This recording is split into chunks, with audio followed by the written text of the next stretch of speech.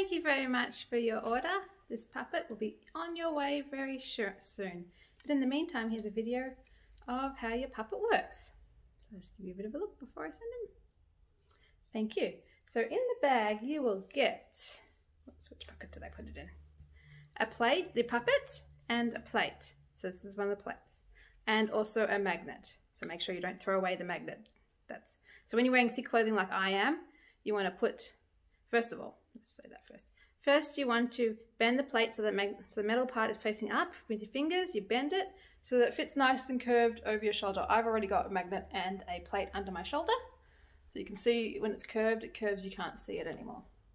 So you put the plate and you put the magnet underneath the material. So there's a magnet and a plate already under there. There's a magnet and a plate already under there. If you're wearing really thick pieces of clothing, if you're wearing t-shirt material, you don't need to use the magnet. But because I'm wearing a nice thick jumper, it's good to have the magnet on. So you kind of move it around till you feel that it's clicked onto the magnet. Like then, it's now not going to come off. So it should stay on nice and smooth. And then make sure the magnet's the right polarity.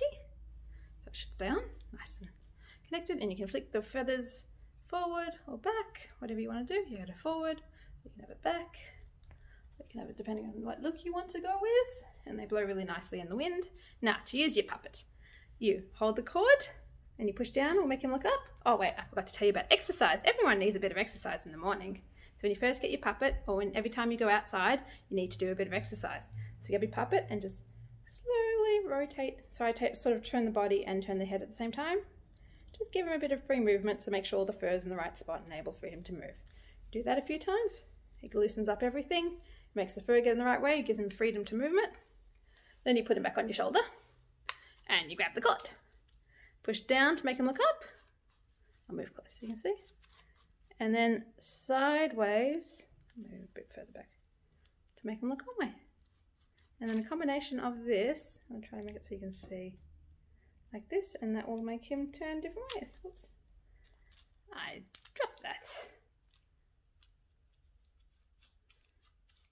Thank you very much for watching.